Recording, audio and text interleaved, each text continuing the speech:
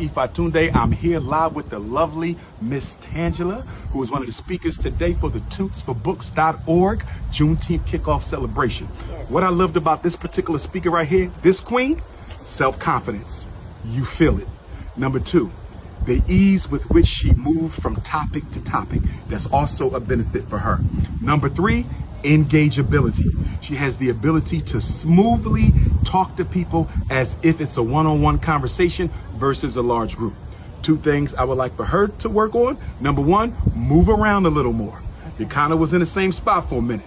Move around, let the energy roam. That's number one. And the second thing, alternate the level of your voice from high to low to keep the crowd engaged. Okay. So sometimes you're going to go really high when you're making a good point. Mm-hmm. Sometimes you're going to go really low when you want them to really listen well. Okay. I need a little bit more variability in your voice and a little bit more movability on the stage. Show them hips. Move okay. them damn hips. Okay. you got it. You got it. Okay. One love. Great Thank job. You. Great job. Thank you. Thank